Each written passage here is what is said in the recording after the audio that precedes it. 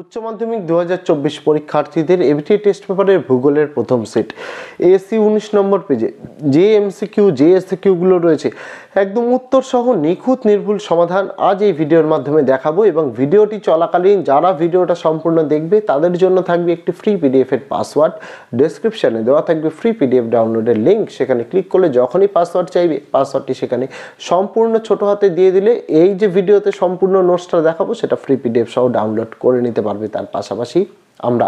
এই ভিডিওর ফার্স্ট কমেন্টে ভূগোলের সাত নম্বরের কোন বড় প্রশ্নগুলো পড়তে হবে, যেগুলো পড়লে হান্ড্রেড পার্সেন্ট কমন পাবে এবং কোন ছোট প্রশ্নগুলো পড়তে হবে, সেই প্রশ্নগুলো পড়লে যাতে নাইনটি থেকে নাইনটি ফাইভ পার্সেন্ট ছোটো প্রশ্ন কমন পাওয়া যায়, তারও উত্তর সহ ভিডিও ফ্রি পিডিএফ সহ দিয়েছি, তার লিঙ্কটাও দিয়ে রাখলাম, সেটা দেখতে ভুলো না। পাশাপাশি এভিটি টেস্ট পেপারের সকল বিষয়ের যে ভিডিওগুলো ফ্রি পিডিএফ সহ এনেছি, তার প্লে প্লেলিস্টের লিঙ্কটাও দিয়ে রাখলাম, সেটা দেখতে ভুলো না। এবং আগামী দিনগুলোতে আমাদের চ্যানেলের মাধ্যমে সকল বিষয়ের গুরুত্বপূর্ণ প্রশ্ন এবং উত্তর ফ্রি পিডিএফ সহ এরকম পেয়ে যাওয়ার জন্য পরীক্ষার আগে যদি চ্যানেলটিকে এখনও সাবস্ক্রাইব না করা হয়, তোমাদের কাছে অবশ্যই অনুরোধ রইল চ্যানেলটিকে সাবস্ক্রাইব করে দিয়ে পাশে থাকা বেল ক্লিক করে দেওয়ার জন্য যাতে আগামী দিনে কোনো রকমের ভিডিও আপডেটস তোমাদের মিস না হয়। তো চলো শুরু করা যাক আজকের ভিডিওটি পেজ নম্বর এসি উনিশে, ভূগোলের প্রথমে যে এমসিকিউগুলো আছে, দেখে নাও। প্রথম প্রশ্ন, চুনা পাথর গঠিত গুহার দ্রবীভূত চুন তীর্যকভাবে বৃদ্ধি পেলে নিম্নলিখিত কোন ভূমিরূপটি গঠিত হয়? উত্তর হয়ে যাবে option number C helictite next দু নম্বরের প্রশ্ন, যে প্রক্রিয়ায় প্লাবন ভূমি গঠিত হয়? উত্তর হয়ে যাবে অপশন নাম্বার এ আরোহণ. নেক্সট তিন নম্বরের প্রশ্ন, যে পুরোদেশীয় বাদ উপকূলের সঙ্গে কোনো দ্বীপ বা একাধিক দ্বীপকে যুক্ত করে, তাকে বলে উত্তর হয়ে যাবে option number B tombolo. Next প্রশ্ন চারেরটা, একটি ভূমিরূপের নির্দিষ্ট জীবন, ইতিহাস আছে। উক্তিটি কার? উত্তর হয়ে যাবে option number B W M Davis তারপরে নেক্সট প্রশ্নগুলোর উত্তর দেখিয়ে দিই তোমাদের। পাঁচের, মালভূমি খাড়া ঢালে যে জল নির্গম প্রণালী গড়ে ওঠে, তাকে বলে উত্তরে যাবে অপশন নাম্বার ডি সমান্তরাল জল নির্গম প্রণালী। ছয়ের প্রশ্ন, একটি আঞ্চলিক মৃত্তিকার উদাহরণ হলো, উত্তরে যাবে অপশন নাম্বার ডি পটজল। সাতের প্রশ্ন, উদ্ভিদের জন্য প্রয়োজনীয় প্রধান প্রাথমিক পরিপোষকের একটি উদাহরণ হলো উত্তরে যাবে অপশন নাম্বার ডি নাইট্রোজেন আটের প্রশ্ন, নিম্নলিখিত গ্যাসগুলির মধ্যে যেটি গ্রিনহাউস গ্যাস নয়, সেটি হল উত্তরে যাবে option number B C O two নয়ের প্রশ্ন হ্যারিকেন নামক ক্রান্তীয় ঘূর্ণিঝড়ের জন্ম দেয় উত্তরে যাবে অপশান নাম্বার ডি ক্যারিবিয়ান সাগর.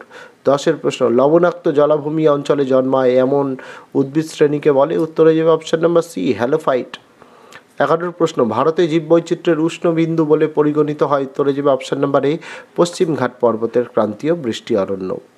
বারোর প্রশ্ন, একটি মনুষ্য সৃষ্ট বিপর্যয়ের উদাহরণ হলো উত্তরে যাবে option number C, Bhopal gas বিপর্যয়। তেরোর প্রশ্ন, সোনালী পোশাক কর্মীরূপে নিযুক্ত ব্যক্তিবর্গের কাজের স্তরটি হলো উত্তরে যাবে অপশন নাম্বার এ, অতি নব্য স্তর। চোদ্দোর প্রশ্ন ভারতের নীল বিপ্লব যে উৎপাদনের সাথে জড়িত তা হলো উত্তরে যাবে অপশন নাম্বার ডি, মাছ। নেক্সট মালয়েশিয়ার একটি গুরুত্বপূর্ণ শিল্প হল উত্তরে যাবে অপশন নাম্বার সি রবার ষোলোর প্রশ্ন, পর্যটন যে প্রকার অর্থনৈতিক ক্ষেত্রের অন্তর্গত তা হল উত্তরে যাবে অপশন নাম্বার সি, তৃতীয় ক্ষেত্র। সতেরোর প্রশ্ন, ভারতে খাদ্য প্রক্রিয়াকরণ শিল্পে একটি অগ্রণী রাজ্য হলো উত্তরে যাবে option number A, Paschimbanga. Next আঠেরোর Suez খাল সংযুক্ত করেছে। উত্তর হয়ে যাবে অপশন নাম্বার ডি ভূমধ্য সাগর ও লোহিত সাগরকে।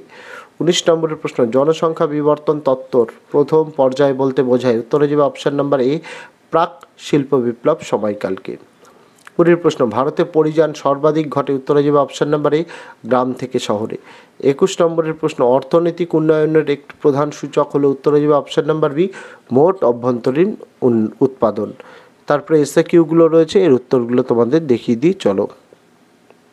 প্রথম, পর্যায়ন কাকে বলে? এর উত্তর কি লিখবে? আরোহণ, অবরোহণ, এর সম্মিলিত ফল হলো পর্যায়ন, অর্থাৎ অবরোহণ যোগ আরোহণ ইকুয়ালস টু পর্যায়ন।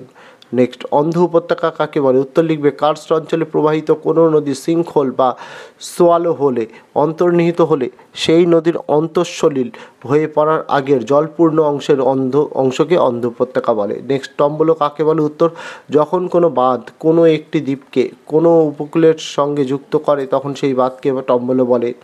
অথবা প্রশ্ন, ফিয়ার্ড উপকূল বলতে কি বোঝো? উত্তর, কোনো হিমবাহ সৃষ্ট উপকূল সমুদ্র তলদেশে নিমজ্জিত হলে যে উপকূল গঠিত হয় তাকে ফিয়ার্ড উপকূল বলে। নেক্সট পেডিমেন্ট কীভাবে গঠিত? হয় উত্তর, মরু অঞ্চলে বায়ু প্রবাহ ও জলধারার মিলিত কার্যের ফলে পাহাড়ের পাদদেশে গঠিত শিলাময়, মৃদু, ঢালযুক্ত এবং প্রায় সমতল ভূমির আকারে পেডিমেন্ট গঠিত হয়।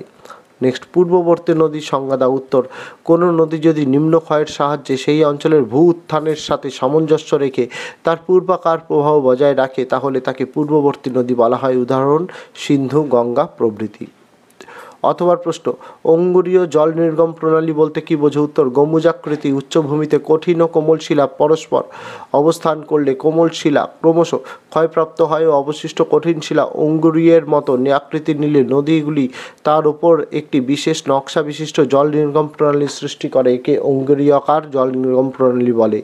নেক্সট হিউমিফিকেশন কাকে বলে? উত্তর, যে প্রক্রিয়ায় মাটির উপরিস্তরে মৃত জীবদেহাবশেষ অনবীক্ষণিক জীবাণু দ্বারা বিয়োজিত ও পরিবর্তিত হয়ে বাদামি বর্ণের এক পদার্থের সৃষ্টি করে, তাকে জৈবকরণ বা হিউমিফিকেশন বলে। অথবা প্রশ্ন, মৃত্তিকার গ্রথন বলতে কি বোঝে? উত্তর, মাটির মধ্যে বিভিন্ন আয়তনের কণা থাকে, যেমন পলি, বালি, কাদা প্রভৃতি। এদের আপেক্ষিক অনুপাতকে মাটির গ্রথন বা মৃত্তিকার গ্রথন বলা হয়। নেক্সট উচ্চ তাপযুক্ত উদ্ভিদ বলতে কি বোঝে? উত্তর, যে সমস্ত অঞ্চলে সারা বছর ধরে প্রচণ্ড তাপমাত্রা থাকে, অর্থাৎ সাতাশ ডিগ্রি সেলসিয়াসের বেশি, সেখানে যে সমস্ত উদ্ভিদ জন্মায়, তাদের উচ্চ তাপযুক্ত উদ্ভিদ বলে। সাধারণত নিরক্ষীয় জলবায়ু অঞ্চলে উদ্ভিদসমূহ এই শ্রেণির অন্তর্ভুক্ত। উদাহরণ আয়রানুড ব্রাজিল নাট, মেহগ্নি, আবলুস বন্ডরাবার ইত্যাদি। নেক্সট লা নিনা বলতে কি বোঝায়? উত্তর লা নিনা শব্দটির অর্থ শিশুকন্যা এটুকুও লিখতে পারো। যারা এক্সটেন্ড করতে চাও, লিখতে পারো। বায়ু সঞ্চালনের স্বাভাবিক অবস্থান প্রশান্ত মহাসাগরের অক্ষরেখা বরাবর বায়ু পূর্ব দিকের উচ্চচাপ বলয় থেকে পশ্চিম দিকে প্রবাহিত হয়। এই অবস্থায় সমুদ্রের পৃষ্ঠজলের উষ্ণতা, স্বাভাবিক উষ্ণতা অপেক্ষা চার ডিগ্রি সেলসিয়াস কমে গেলে পেরুচিলি উপকূল বরাবর যে শীত, শীতল সমুদ্রস্তর সৃষ্টি হয় তাকে লা নিনা বলে। এখানে উষ্ণতা স্পেলিং দুবার ভুল আছে, উন্নতা হয়ে রয়েছে, এটা কিন্তু উষ্ণতা হবে। নেক্সট আয়ন বায়ু কাকে বলে? উত্তর, ক্রান্তীয় উচ্চচাপ বলয় থেকে নিরক্ষীয় নিম্নচাপ বলয়ের দিকে। যে বায়ু প্রবাহিত হয় তাকে আয়ন বায়ু বলে। আয়ন শব্দের অর্থ পথ। নেক্সট জীববৈচিত্র্যের সংজ্ঞা দাও। উত্তর প্রাকৃতিক পরিবেশে উদ্ভিদ, প্রাণী ও অনবীক্ষণিক জীবসমূহের পারস্পরিক সম্পর্কের ভিত্তিতে যে বাস্তুতন্ত্র গড়ে ওঠে, সেই বাস্তুতন্ত্রে অগণিত নানা ধরনের জীব প্রজাতির সমাহার বা সমাবেশকে জীববৈচিত্র্য বলে। অথবা প্রশ্ন, নিজস্ব প্রাকৃতিক পরিবেশে জীববৈচিত্র্য সংরক্ষণকে কী নামে অভিহিত করা হয়? উত্তরে যাবে, ইনস্টিটিউট সংরক্ষণ। নেক্সট হরপাপান বলতে কি বোঝো? উত্তর, উচ্চ পার্বত্য অঞ্চলে অত্যধিক বৃষ্টি বা হিমবাহ সৃষ্ট হ্রদের জলে আচমকা বাদ ফেটে বন্যার সৃষ্টি হলে তাকে হরপাবান বলে। আর তোমাদের এই ভিডিওর ফ্রি পিডিএফের পাসওয়ার্ড হিসেবে link L I N K সম্পূর্ণ স্মল লেটারে নেক্সট বাজার ভিত্তিক উদ্যান কৃষি বলতে কি বোঝো? উত্তর, কোনো শহরের দৈনন্দিন শাকসবজি, ফুল, ফল প্রভৃতির চাহিদা মেটাতে যখন ওই সব শহরে উপকণ্ঠে বা শহরতলিতে অত্যন্ত আধুনিক পদ্ধতিতে ওগুলি চাষ করা হয়, তখন তাকে বাজার ভিত্তিক উদ্যান কৃষি বলে। অথবা প্রশ্ন আর্দ্র কৃষির সংজ্ঞা দাও। উত্তর, জলসেচে সাহায্য ছাড়া নিয়মিত পর্যাপ্ত পরিমাণ বৃষ্টিপাতের অর্থাৎ দেড়শো সেমির বেশি ওপর নির্ভর করে যে কৃষিকাজ করা হয় তাকে আর্দ্র কৃষি বলে। নেক্সট প্রশ্ন আইসো টিম কি? উত্তর, কাঁচামাল উৎপন্ন পণ্যের সমপরিবহন বিশিষ্ট স্থানগুলিকে যে বৃত্তাকার রেখা দ্বারা যুক্ত করা হয় তাকে সমপরিবহন রেখা বা আইসো টিম বলে। নেক্সট তৃতীয় স্তরের অর্থনৈতিক ক্রিয়াকলাপের সংজ্ঞা দাও। উত্তর, প্রাথমিক ও গৌণ কার্যাবলী সুষ্ঠুভাবে সম্পাদন বা সমন্বয় সাধনের জন্য মানুষ কোনো ব্যক্তি বা গোষ্ঠীকে যে সেবা বা সাহায্য প্রদান করে এবং উৎপাদন ব্যবস্থাকে সচল রাখে তাকে তৃতীয় স্তর বা সেবাক্ষেত্রের অর্থনৈতিক ক্রিয়াকলাপ বলে।